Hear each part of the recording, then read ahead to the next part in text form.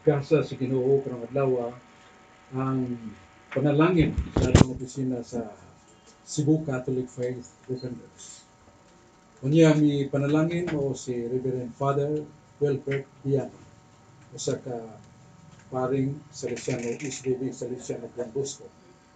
O gitambungan gyud ba sa atong mga Catholic Faith Defenders sa Cebu uh, chapter sa Catholic Faith Defenders gipanguluhan sa atong buutan makugihon nga tungo mao si Brother Adam Ampere. Ayaw kalimot, malantawan ninyo sa inyong cellphone through YouTube ang radio of CFD Cebu. Radio of CFD Cebu. Muna nga itong frequency. Kaya para makwinta ang inyong pag paminaw, paglantaw, click here. I repeat, your watch and observation of the program will be accounted for by click here. Ang atong tema nga pag-isgutan, mao ang struktura sa simbahan nga gitupo ni Kristo. Di ta malimot nga San Pablo sa 1 Corinto 14:40. Siya nagpahayag nga matuni gayod pagdumala sa katarong ug kahapsay. Katarong ug kahapsay. Righteous and orderly in compliance with the structure of the church founded by Jesus Christ. Pag atong nasairan sa balang kasulatan nga si Kristo labaw nga pare. He is a priest, priest forever. Diya sa King James Version sa Hebrewanon City 24 that Christ's priesthood is forever. Ang pagkapare ni Kristo hangtod sa kanturan. Daw gihubad ni sa bagong translation that the priesthood of Christ has not been assigned or given to anyone else, which is that which is the truth to the matter that is contrary to the right and fair translation. Because in English, the priesthood of Christ is forever. Inyang pagkapari, hangtod sa kanturan. Kung sa magisguta sa una, ang pagkapari. Kaya doon na iba na itong mga kaitsunan nga, wala may pare. Kaya kung basahon ni mo sa talaan sa mga ministry sa simbahan ni Kristo sa Episo 4.20 excuse me, Episo 4.11 dahil sa itong 1 Corinto 12.28 Naingon nga ang pangalagad sa simbahan, mga apostoles, manalagna, magtutudlo, evangelista, o pastor. Wa magisgot og pare. Pero the truth that we shall know, pastorship or being a pastor in the scripture, pare na siya o ministro ba. Sa na to sa Isaias 61, 6, Ang Diyos magkatawag ka nilang pare. Huwag ang katawhan, magtawag ka nilang ministro.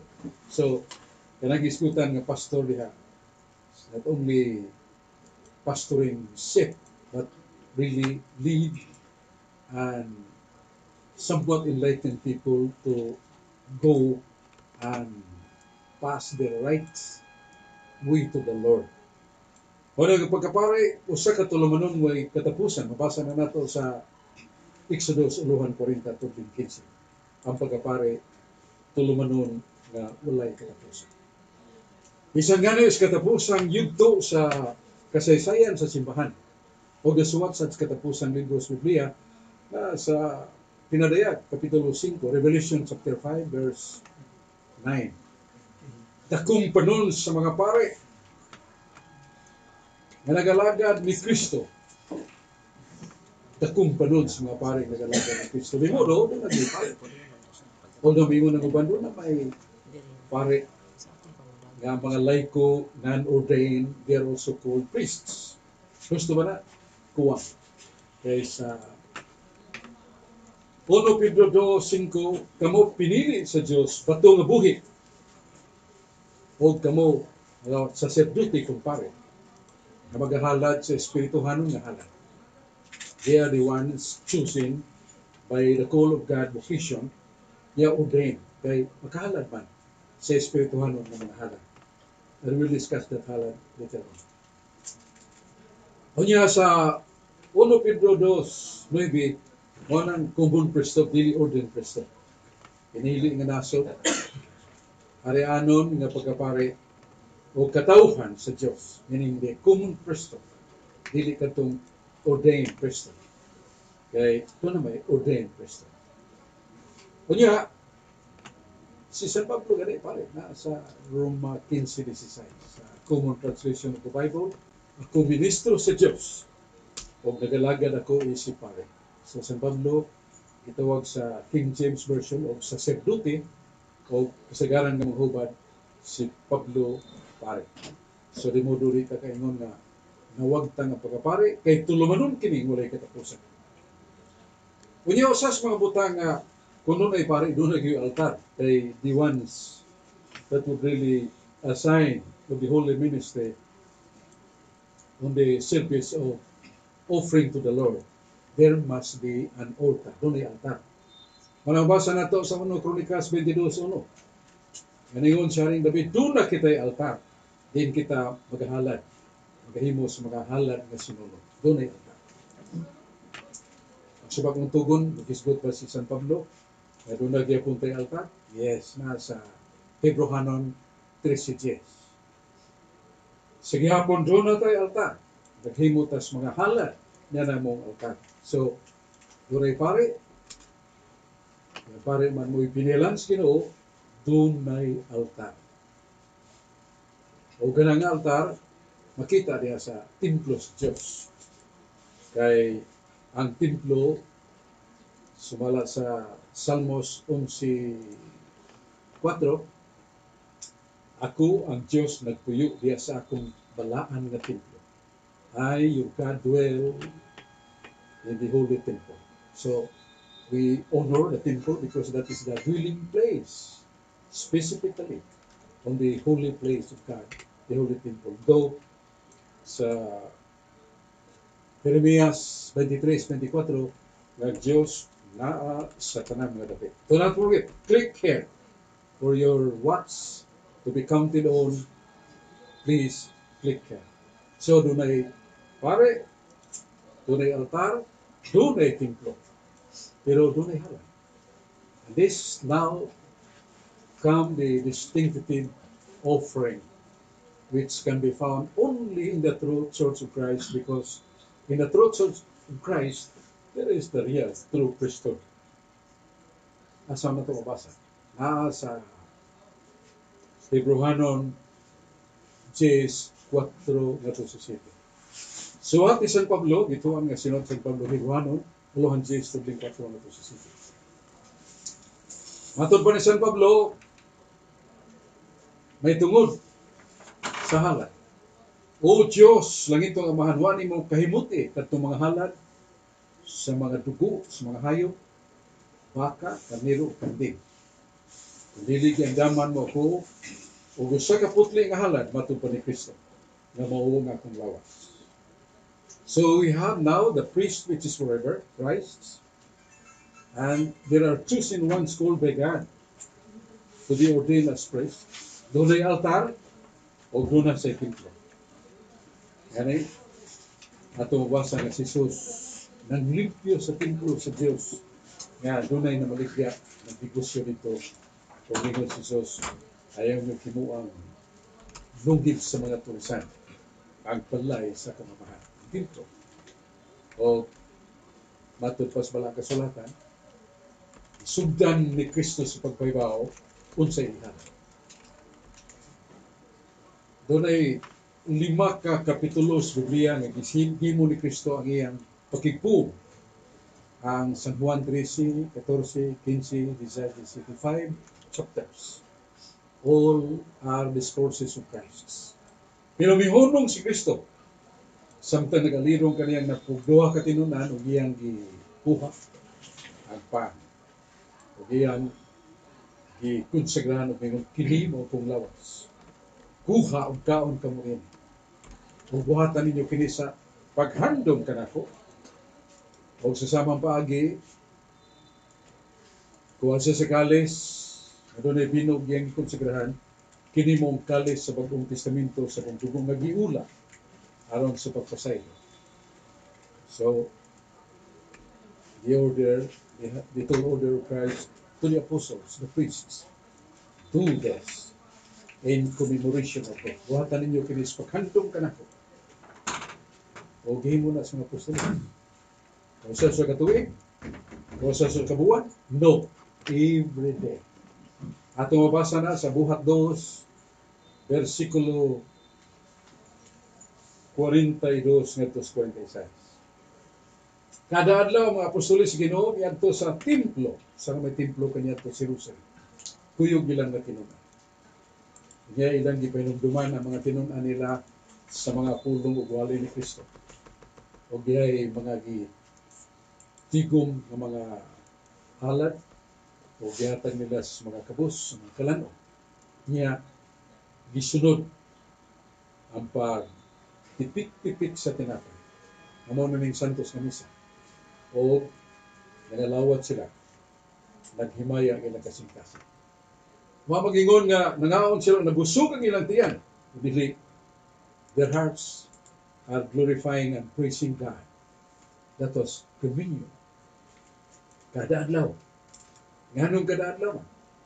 Kaya matod pa ni Kristo sa San Lucas 24:47, iyang gisaysay, nagikan sa mga propeta, isan sa panahon ni Moises, ubang mga propeta, nga mga tagna may tungkol kaniya matuman.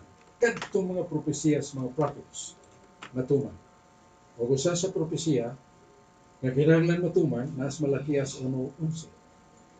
Nagikan sa pagsubang hangtod sa pagsahop sa adlaw usa ka halad nga putli igahalad. O ngahan sa Dios mapadako bisan ngadto sa mga hintil tungod sa mong halad nga putli. What is it?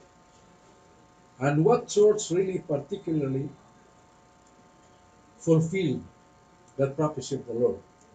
Kaya kada adlaw doon ay misa gikas pagsubang sa adlaw hangtod sa pagsahop. Amo ang paghandong sa kamatayon ni Kristo. Pero labaw sa tanan, pagpakanaog siyang presensya. Kaya ka na mong halad kaluwasan. Kanang pagkalawat sa mong halad nga mong posti ang lawas ni Kristo kaluwasan. Sa mabasa na sa Juan 6, 54-56. Namingon si Jesus kinsa katumukaon sa kong unod, minom sa kong dugo. Kaon ng pan, minom ni kupa. Ako mupuyo kaniya siya, mupuyo kanako. Kanang tawana doon ay kinabuhing walay katapusan. Panahon ko Jesus katapusan. These are the structure of the church. The priest, the altar, the temple, and the offering. Ang napangapari ng Bos Kristo, ug ang altar, sulod sa simbahan. Every true church, every Catholic community, there must be a temple, and there must be always an altar. And there must be always the daily offering, and that is the Mass.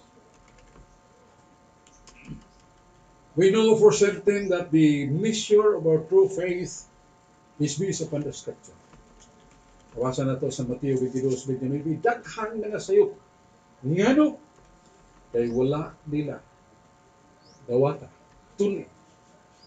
Daghan na nga sayop, kiwa sila mahibaw sa gahom sa kasulatan.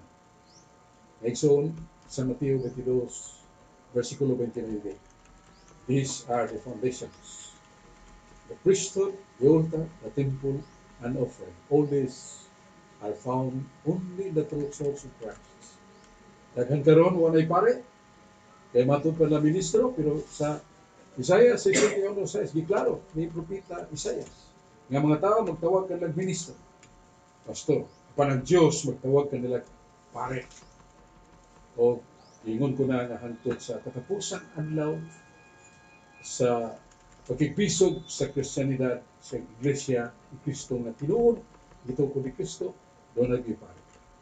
O kini kita lamang nato in the structure of the church, the true church, Catholic Church. Doon ay pare, may obispo, may diakono, may altar, may templo, o may halad, among santos na misa.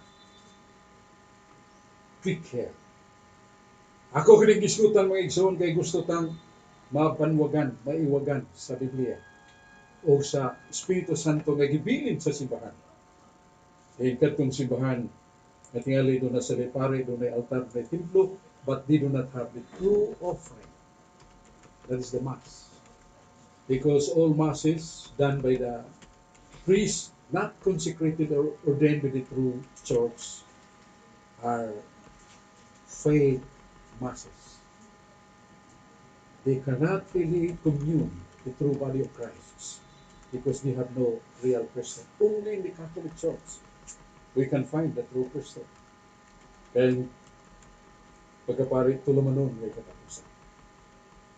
Exodus 1, 40 to 15. So, sa mga igsoon na naglantaw ka na to, I am inviting you to reflect 1 Corinto 14.40 Ibuha buluhaton sa Ginoo sa katarong ug sa kahugsan.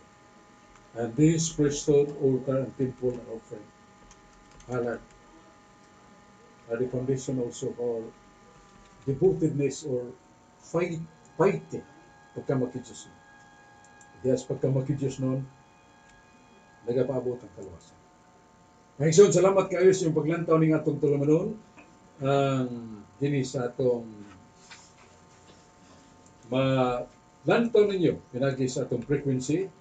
I-type ninyo sa YouTube o sa atong Facebook.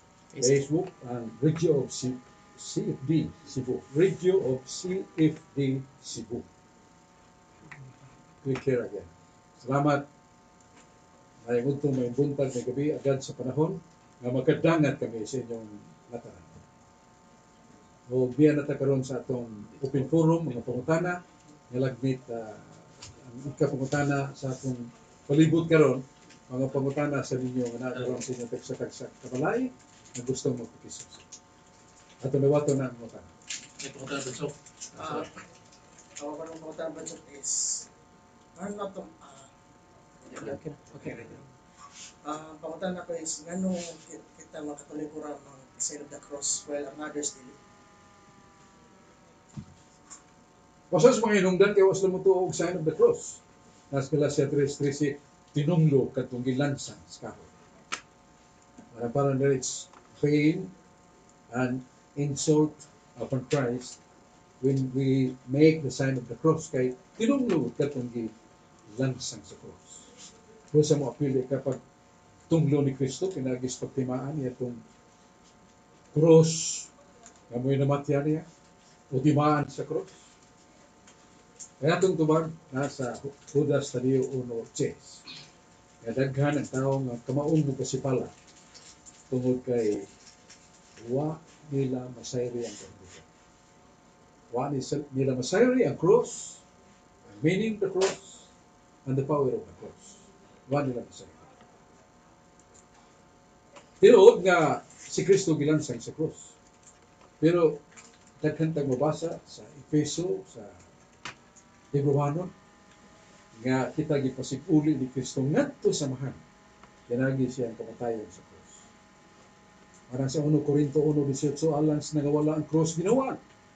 Pero alang kanatong ginaluwas ang cross gahom sa Diyos. Kinsa man ang gahom sa Diyos in person. 1 Korinto 1.24, San Pablo mingon, Kristo mo gahom o ang kaalam sa Diyos. Christ is the power and the wisdom of the Father. So the modo, we should know the wisdom that is the word of Christ regarding the cross. San Mateo 16:24 kung gusto kang sunod ka nako, pasana ang inyong cross. Dili na literal na mangita tag sa ka kahoy pinabuhos ng mga balabang nga atong pasana. Dili ang pagtuman nato sa atong katungdanan. Pagka-Kristiyanos. Atong pagpasakit sa uban. Atong pagdumili sa atong kugalingon. Pugna na to atong kasuko, pugna na to atong kaulag. Tungod kay nahigugma ta sa atong kaluwasan. Gusto tang mo lungtad na may mong instrumentos, Ginoo, we should be pure and clean. And that is the cross. Purity, discipline, and commanded by God. Asa Ezekiel 9:4 ngadto sa sa sa Jerusalem Bible gikan sa Hebrew language Christian Community Bible Ezekiel 9:4 ngadto sa sa ang Dios mingon ngadto sa mga anghel latas kamo sa syudad markahe krus ang agtang sa mga tao bata o tiguwa sa inyong pagbalik kadtong way marka sa cross patya so was it literal when God stated that so much so that should not be interpreted only literally but the sign of the cross that is the sign of Christ that is the sign of uttermost surrender to God so that we will be saved. Timaan sa krus, kung sa simbahan, gihimo na. Igisuko man. Walay timaan sa bispo sa atong agtang, ang krus sa atong pagbunyag, pagkumpirma, o bihimo sa dapat timaan sa krus. Kay naman ang suwat ng Biblia. Diya sa inyong agtang, o nakita ko sa malas pinadayan 14.1.4, ang ngan sa mahan o sa anak kay gipati o sa Efesio 1.30 himo sa ang Espiritu Santo nga timaan. So, sign of the cross. Wherever there is a cross, there is the power of Christ. Wherever there is a cross, there is the wisdom of Christ. The wisdom which is simply real humility as Christ did on the cross. Ang kamatupsan, kaluwasan. Muna itong tubag, nganong ang ubang mga pundok dili mo sa sign of the cross kay wa sila kay bawas kahulugan. Pura pura study uno Christology. Okay, mo itong tubag sa pangutana, ngita taglay. So, Okay sa pagtanong. Ngayon sa atong rutina nga infallibility of the Pope reflection. Opo. Kung sa mga sa sa infallibility. Ang atong Ginoo nagkasaad ni Pedro diha sa Mateo 16, 19, nga mingon si Jesus kang San Pedro. Dawata ang mga yawi sa langit Pedro. Unsa imo nga prubahan sa iyo ta prubahan sa langit. Unsa imo gidili sa iyo ta idili sa langit. What is the relevance of that giving of the case of the kingdom? Meaning, the case sumala sa Lucas 12, 51, it means wisdom. Ang yawi nagkulugan o kahibalo. Sa ato pa spindle gitagad sa Diyos o kagahuman sa kahibalo sa kanatulugan. Muna ko ng paghatag ni Kristo sa mong yawi sa pag-aprobar o dili pag-aprobar. Masayop din dako ng responsable si Kristo kay siya man nagsugo ang imong aprobahan siya ta aprobahan ako sa langit. And that is the foundation of infallibility of the Pope with regard to faith and morals. May tungkol sa tuluhuan. May tudlo sa simbahan, Santissima Trinidad, sa Diyos, ganito ka persona. That is infallible. Because that is pulpit church, gitudlo na simbahan. Ang simbahan, dili mo sila. Kung mingon ang simbahan nga ang usa ka bata nga tuwa sa sabakan sinahan sa pagpanamkon lang bisag usa ka semana kuhaw na huwag ang simbahan mingon that is immorality that is against the act of God that is sin mortal sin killing the life instilled by God in the womb of the mother that is infallible so kung mag-isgot ta og infallibility di masayo diha ra gyud sa tuluan o pamatasan nga itudlo sa sanupapas di mo kalibutan. Maraming unya malagi sa Galacia 2.11 nga si San Pablo may kasama ni Pedro kay wa siya magtumang sumala sa may balita. Ang ilang gilalisan nito mo ang gandan o diplomatic approach. Kaya nga abot nga mga Hudiyo dito sa giuyan nga dapit sa mga apostolis kung si Pedro may antihay pagkuyog sa mga hintil. Kaya mga hintil mo, gaon lang kasi kung sa. Muna San Pedro, may, uh, San Pablo na himamod. Uh, Sagding lang na sila sila isulti. So it is not kind of faith and morals. Ang ilan din ang regarding the diplomacy. diplomacy. Ang Pedro para di mo offended din siya may mo stumbling block kapandulan sa mga Hudyo yan tihay siya pero dili to sa so ang ilang issue nito not about infallible faith and moral only the the we how to or an approach regarding this situation specific situation nga nagabot ang mga Hudyo nga di mo kaon bisag unsa yan tihay speed bro kay kuy kuy niya mga hintil ang kaon bisag unsa so dili na regarding infallible So mao na ang tubag nato sa kung ang Santo Papa nga mutudlo og bahin sa tuluhan pamatasan. Masayo? Nato sang sayo kung ito Ginoo kay siya may ni garantiya ang imo nga aprubahan sa iyo ta aprubahan sa langit. Mao na atong tubag. So, so, na, nalang, ito na. Si Kwaza, sulta po. Tino. Ah, ang pungtan na bahin sa laing sikta, like for example, ang Libayan Church, Buddhist, o Mississippi, naaman sila yung mga pare. So ako pungtan na bali ba ang lang ubong mga pare. Tulad ng salamat. Ang gingan na nato og successorship in the legal and moral order gikan sa Pedro. Lenos, Cletos, Clemente, Sigiste, Hihinyo. Talaan sa mga Santo Papa, gikan ni Lenos. Hangtod karon. Nagsugod ni Kristo nga ni Pedro. Dayon after Peter, Lenos. Nga diha magsukat ang true, valid ordination. Kung sa kuno na mga pundok nga nangguwa, ng ilang kagikanan, dili sugod sa mga apostoles. Inbalido ang ilang ordinasyon. Kaya matod pa sa Encyclopedia Britannica Volume 15, page 985. Only the Catholic Church whose origin can be traced back to the time of Christ, to the time of the apostles. Nga sa tanang mga pundo karon ang bugtong iglesia nga maganid ang iyang sinugdan o giganan palik sa mga apostoles kung ngadto ni Kristo iglesia katolika o sa katong nasiak. Ug bag-o lang misubol pag umitubo pero sa siya pare why ordinasyon nga balido. Usang ilang misa imbalido ilang pagkalawat imbalido kay wa man magsukat. Sa mga apostoles. Mo na mabasa na to si Efeso 2.20 gipatukod kamo sa patukuranan mo mga apostoles. Pinadayag 21.14 Ug sa dakong syudad kanunay napug duha ka haligi gisulatan sa mga ngalan sa mga apostoles nga maong nga patukuran. So kung dili ta ma- masubay di ang atong pagtungha dili madugtong sa unceasing successorship of the visible leaders of the church. Santo Papa, gikan ni Kristo, Pedro, mga Santo Papa, mga obispo, nagikan sa atong sinugdanan ng apostoles.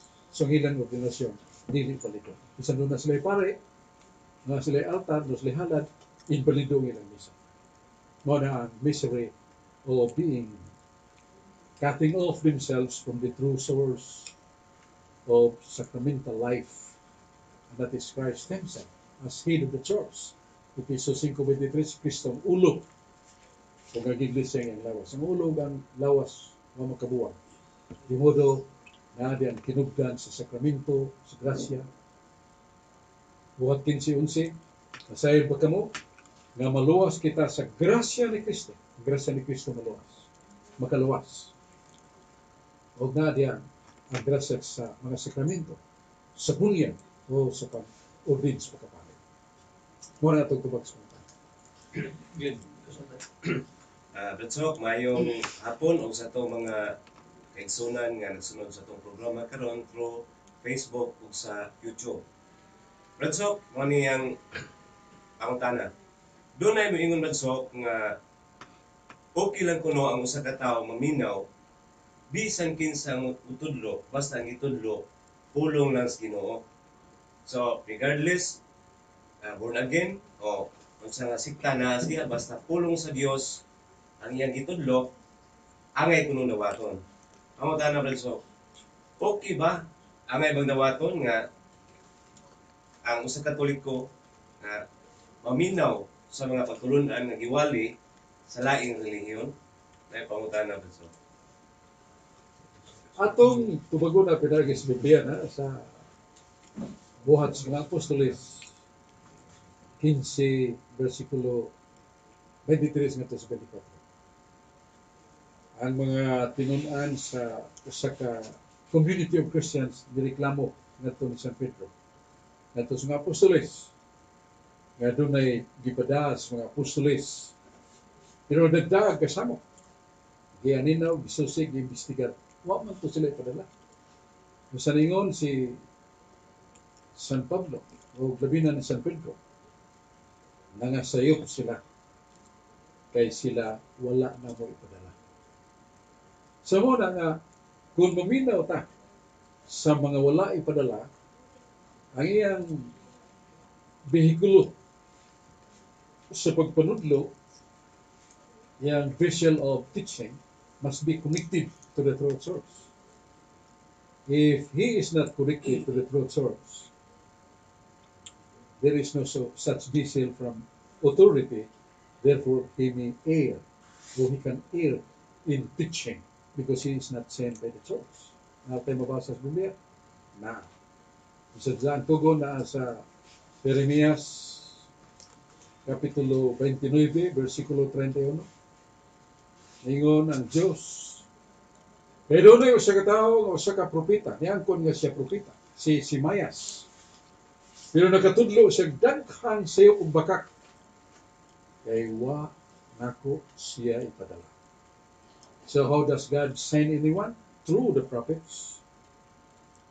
Mga elder prophets, magikan sa Diyos. Ilagi gyapon o ordinasyon. Sa numero 827, nga gitawag itong dipili sa mga ancianos religiosos o di pandungan sa kamot pag-ordain kaniya. Una pa siya makawali, makatudlo. So doon na yun nagpada, bisag daang tugon. Sa bagong tugon mo gyapon sa buhat 13 size. May mga batanon nga gi bansay pagayo. Kung man sa pagbansay, ilang gi nagpuampo sila nagpuasa, o ilang gipandungan sa kamot o sila gipadala. So katong wa ipada, ang tendency nga di mapugna na iyang kasipanan. O na nga, wa masayop San Pedro nga taliwala nato, taliwala ninyo. Doon ay uban nga magpasulod og mangilad nga er erigiya. Ug daghan ang isunod. Ug ang nagahimo niini nga kauban sa nato padulong sa kalaglagan. So any person even coming from the truth source without authority can teach erroneous teachings. Thus, St. Peter said, they will plummet down to a very severe penalty. Ngunit ang atang, ito mga dili pinada, matod pa makatudlog irihiya. Niya masunod sa uban. Ug sila may silot katong nagda sa irihiya ug katong nidawat pagkasilota. Muna itong tubag sumunod. Sa Brother Sok, like po na, Brother George. Kaya salamat Brother Adam, Bagso. Nga may hapon ka na itong kanan, labi na sa itong mga online viewers nga kanunay nga nagsunod niya itong programa. Pasok ang akong pangutan na pasok akong isandig diha sa pinadayag size Piskolo 9 ato sa Gis. Nga nakita ni San Juan pag ampli si Kalimang Timbre, nakita niya ang mga kalag sa mga gipamatay dito sa ilaw mo sa altar. Nga kining mga kalaga pasok, manan sila gipamatay, nga kining mga kalaga, misulti sila, misinggit sila, mituaw sa mga nga tingog ug bingon. Ginoo labing gawanan. Kanus aba ni hukman ang kalibutan tungod sa ilang pagpatay kanamo. Kini sila basok, masabot ka nga nangayo sila justisya kay gipamatay ni sila. Ang ako pangutana basok, katong nahimutangan nila basok, langit ba to basok? Kung langit to basok, ngano nangayo ko sa justisya nga luwas man sila basok. Palihog ko rin pagpatinaw ni basok. Unang sa itong laro ng pinadayag size, maybe nga to. Nga kining natuhana, why laing sala. Nga nagwalit sila sa pulong sa Diyos, gipamatay nilang lawas. Pero buhing ilang galag, kaya dito to aman. Nakita man ni San Juan sa langit. Kaya mga santo sa langit, makaampo man sa Diyos. Ang ilang ipangayong hostisya, it's not justice or penalty. But so much so, in the commentary of the Bible, for the conversion of their persecutors.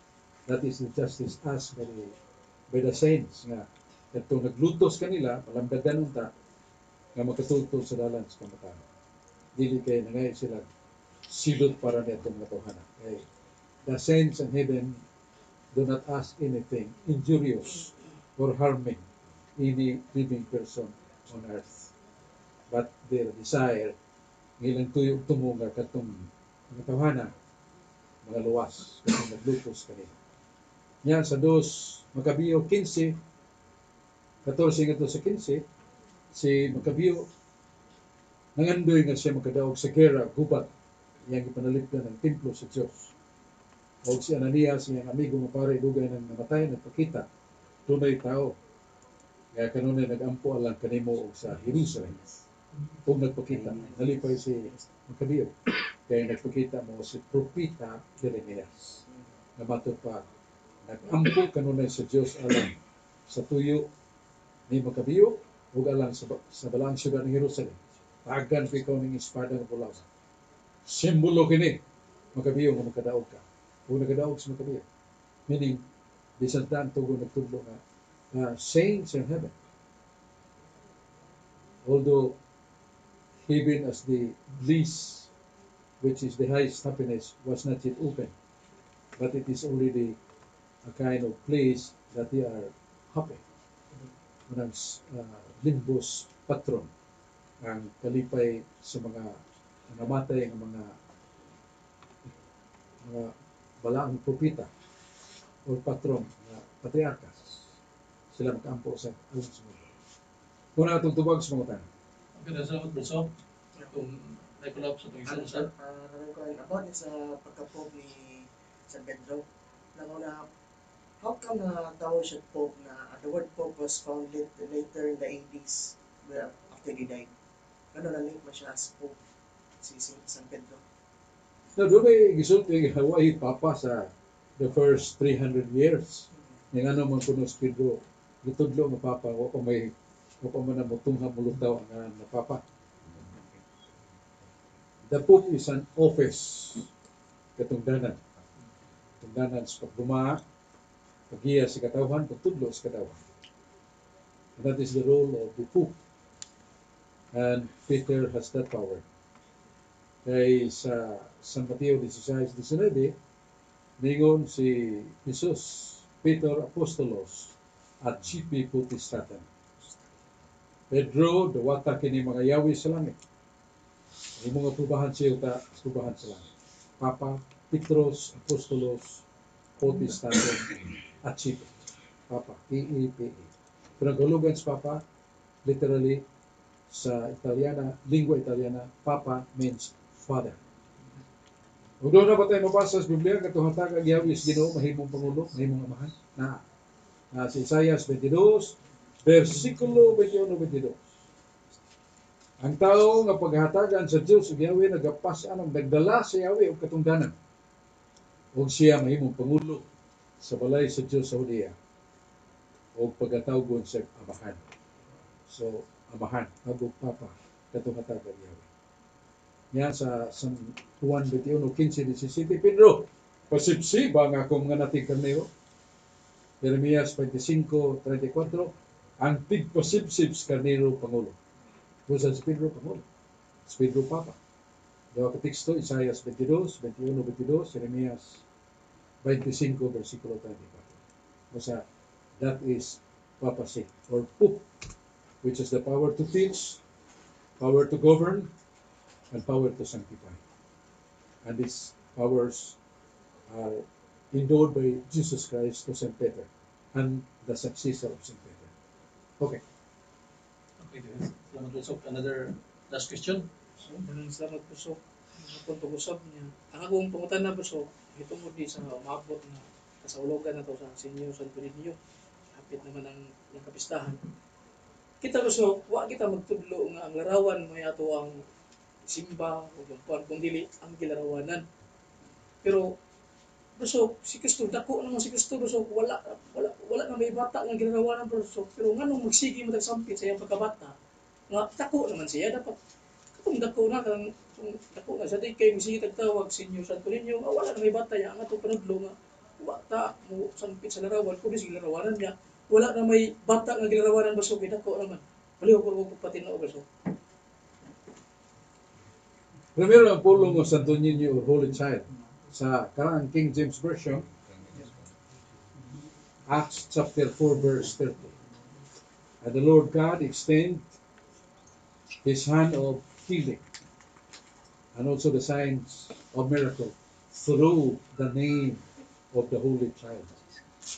Ang Diyos nagapadayag siyang kamot sa pag-ayo sa mga masikito o paghimog milagro pinagi sa ngalan sa santos nga bata o wala ang bata nga santo ninyo. Dako na si Jesus. Pana sa langit. Niya si Yuta. Tuha tulo ka tao magkatigom sa ngalan na ako sa inyong kaliwa. Hebrano 13.8 si Kristo mo sa gihapon. Karon og sumabot siya mo sa gihapon. Mo sabi sa siyang kadako siya gihapon ang santo ninyo bisan ang santo ninyo mo sa rin padako pagkadako pero sa ikaw sa pero na isugo sa Dios nga matuman na niya sa Panginoon sa Salmos Puluhan dos tudling dos. O managlipay kamo o ba ng pagkurog halok kamo sa anak aron siya dili masuko o garon dili kamo mga wala diya sa dalan halok kamo sa anak child kiss the child And who is this son? Kinsa man ang ngalan ining anak. Basahan na itong Proverbio 24.30, nanguta na, kinsa may ngalan sa anak. So, gitubag ta nga ang ngalan sa anak. Ipaybaw sa anghel na itong San Jose, mao ang Yasua o Jesus sa 4 20 30, kapitulo 4, versikulo 30, nga Holy Child. Hag ka na to ang Holy Child. Nga karon, kung sa may hag ka na to, way, way larawan sa Holy Child, hag ka na. Kaya dili hag ka na, suko ang amahan. Umalok ka mo sa anak. Aron siya, dili masuko, o karon dili ka mo mga wala sa dalan. So, kaya tumanan ni Katoliko, ano na tayo larawan sa tunig nyo nga makahalok ta. Okay?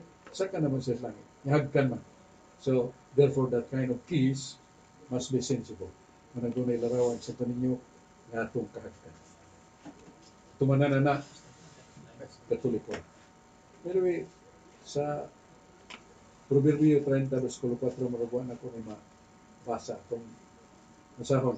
Kay parang hibaw ta nga naipangutana. 3.34. Nagka na yun. Bisan kinsa nga makiguban. Excuse me. 30 versikulo 4. Yara. Kinsa ba ang ngalan? O kinsa ba ang ngalan sa iyang anak? Anak nga lalaki. Kung ikaw nakibaw, munguban wa kibaw. Pero kita nakibaw. Kanang mong anak nga lalaki mo si Jesus. Kini pungutana sa Proverbio 30 versikulo 4 o mao ni ang Santo Niño, child nga itong pagkahagkan. Ang fulfillment ana na sa Iglesia Katolika. Kung doon na ilang kahulugan na, tag economic lang kahulugan. Kung doon na ba? Nga, we kiss the child. Sa Acts 4 verse 30, the name is the Holy Child. Holy Child. Child man. Man holy adult. So, sa ninyo, gini. Dahil sa akin, so, niya, atong tagdon, ang atong mga kekso na nasa online, but so, may sagasa din nga lugar, so, okay, ito si Badjong. click here. May zone, ang click here, pasabot nga, kung ikaw nag-watch, pinagi si mong YouTube or Facebook.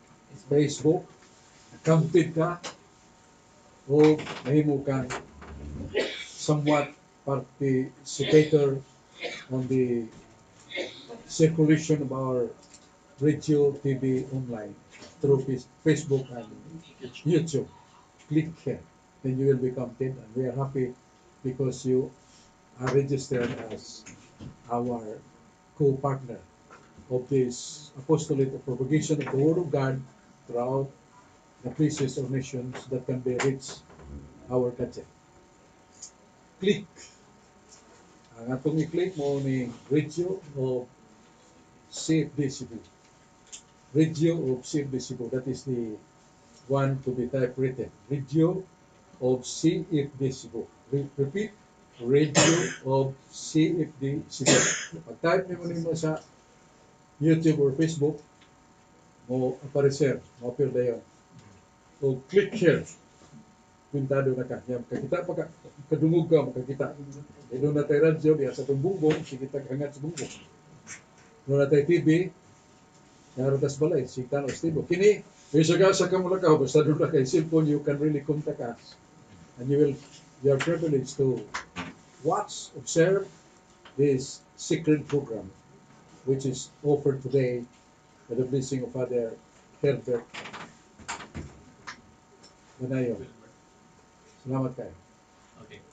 Question Brad Sok. Good afternoon ninyo tanan. Ma- Nindot na ana internet radio. Bro Sok na adi ay antipop by from Antonio Liluan. Anti-pope, it means nga he was chosen, assuming to be a pope, but not genuine pope. 1738 to 1789.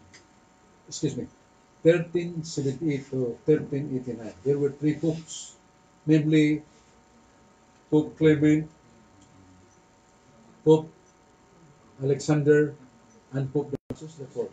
Among the three popes, only one was the genuine pope. The other ones are anti-pope or claiming to be pope, but they are not. They were not legally or somewhat morally elected with the prop- propriety of election of the cardinals or bishop during the time.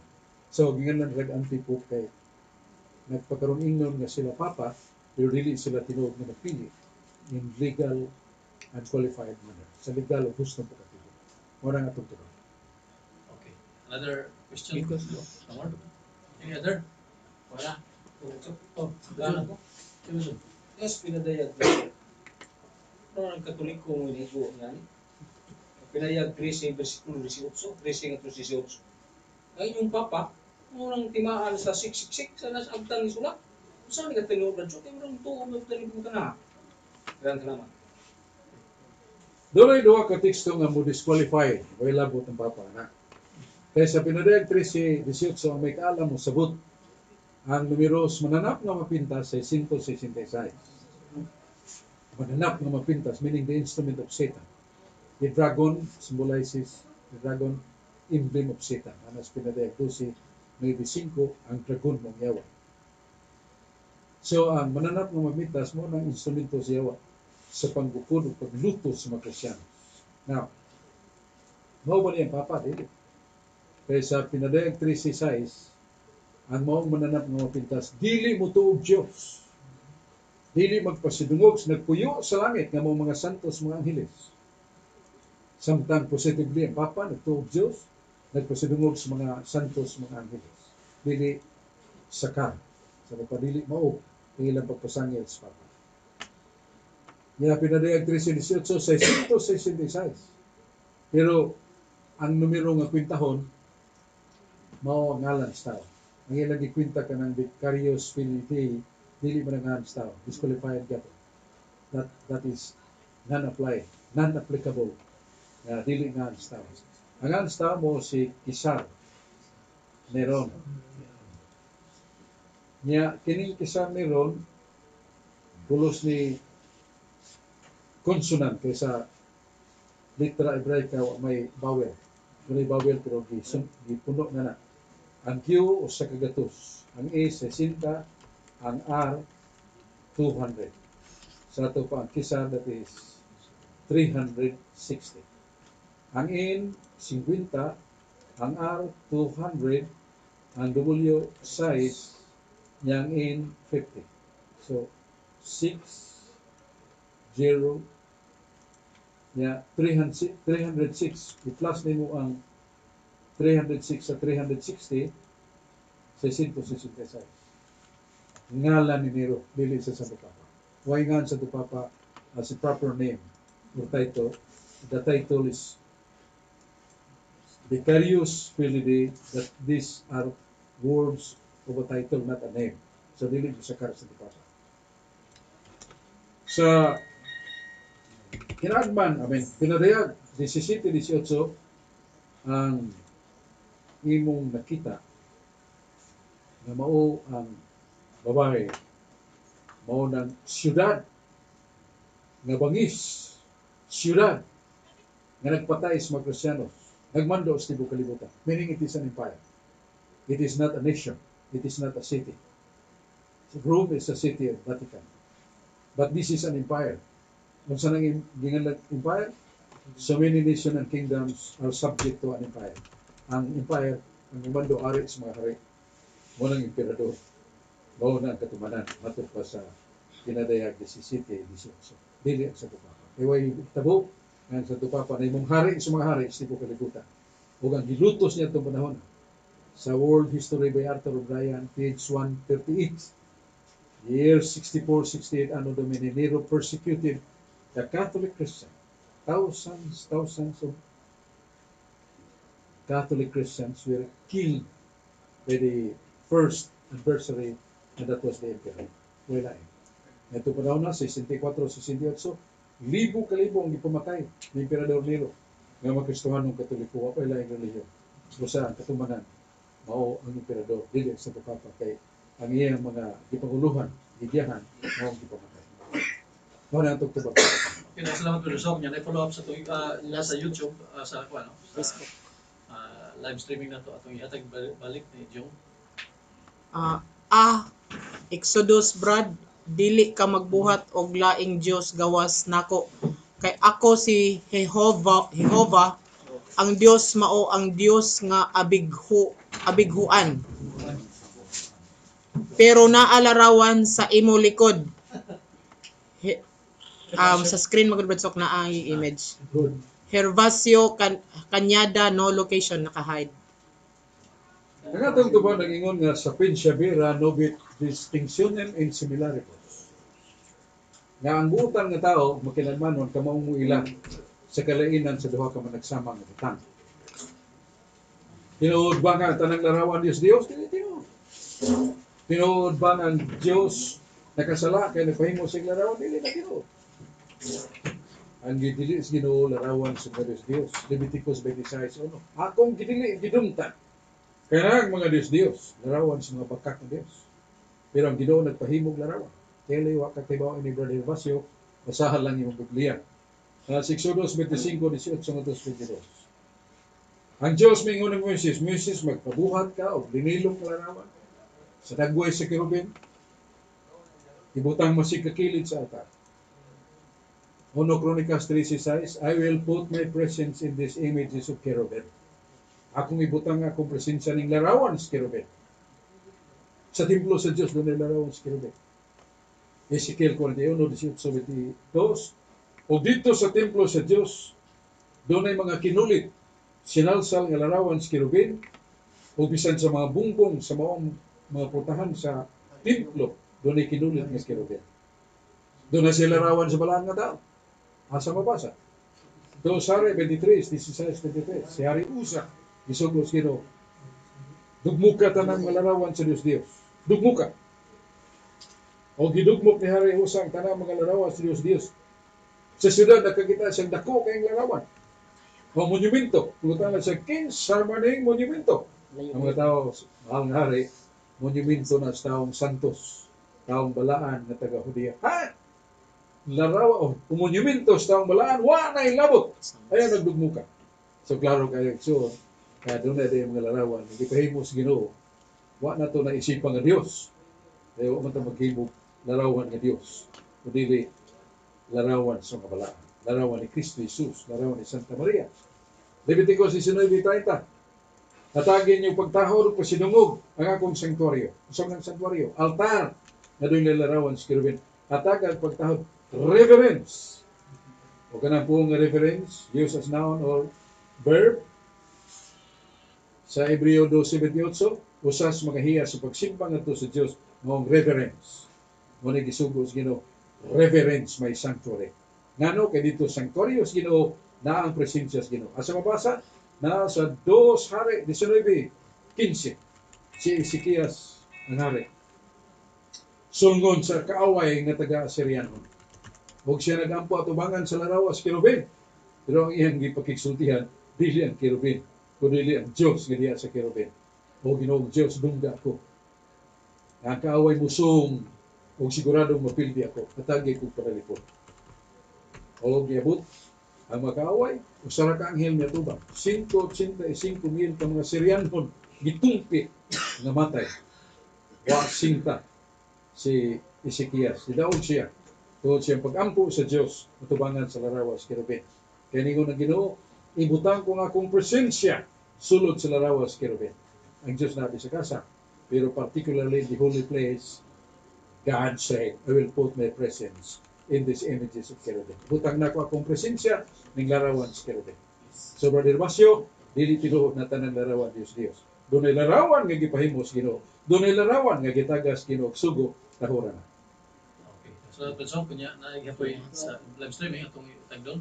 Um, Brad Sok, maayong hapon. Dahil nga po, unsa man gyud nga official nga imahe sa Santo Niño katubang mga uban pareha isa sa gitawag nato og Santo Niño nga palaboy ug uban pa from Yvonne Ab Anyabesa Punzalan Osami City emblems like our real picture taken by photography.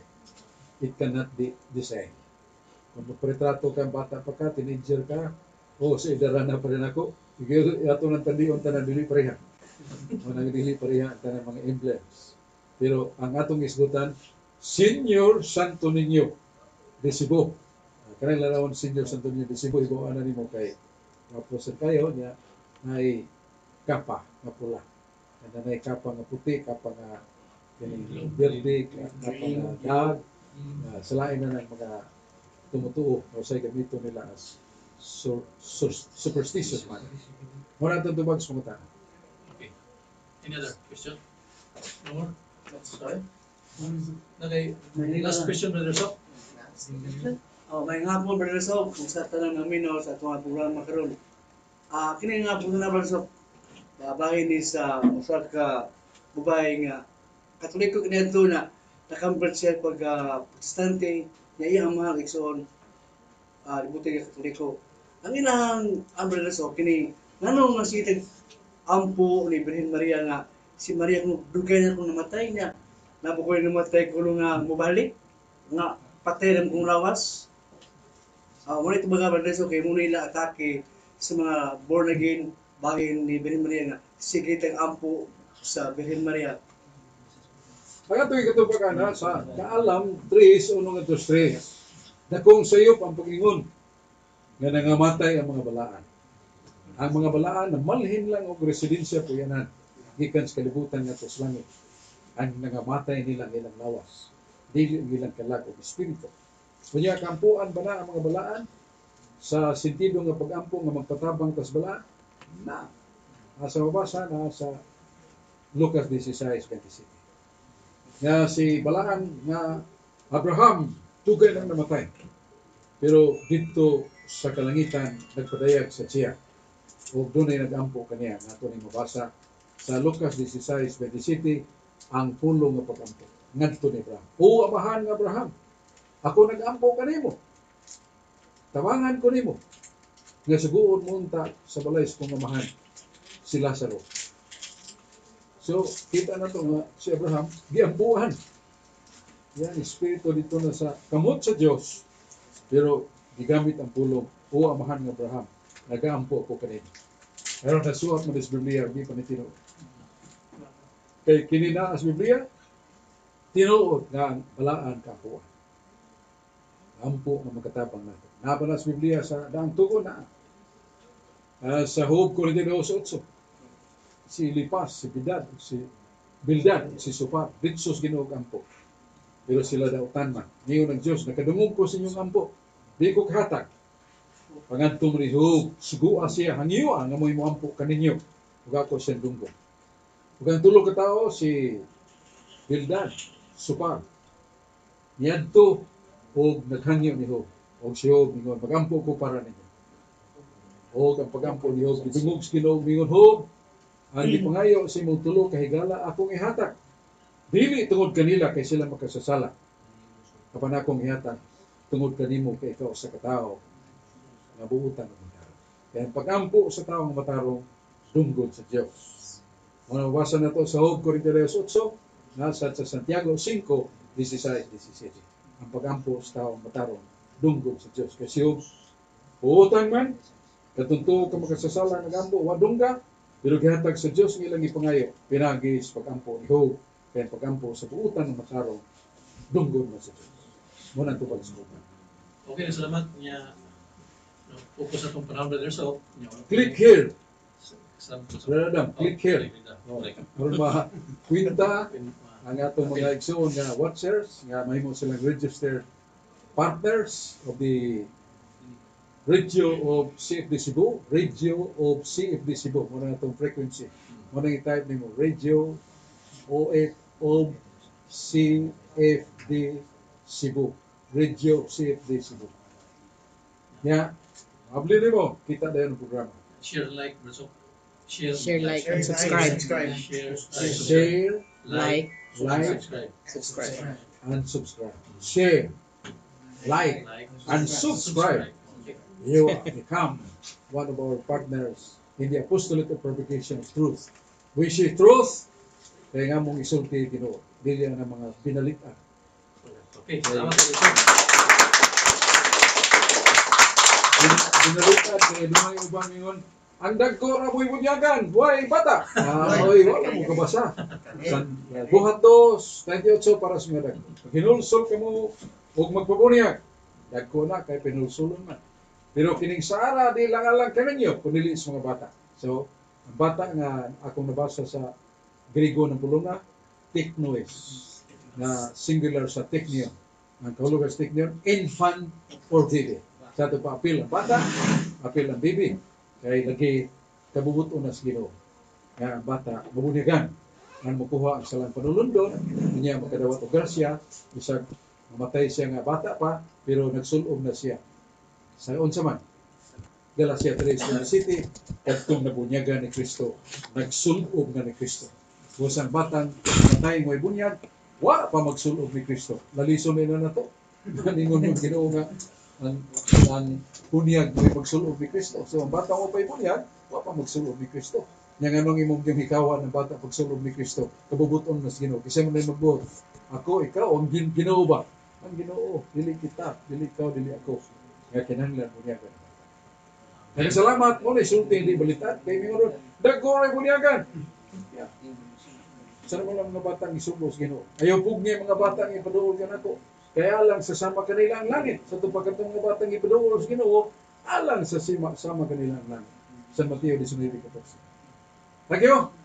Salamat. Kiling inyong alagad si Brad Soap Fernandez sa atong tulumanon, ang atong radio and TV combined through typing on sa atong YouTube o Facebook, Yayaw Kalimpi, ang Radio of CFD Cebu.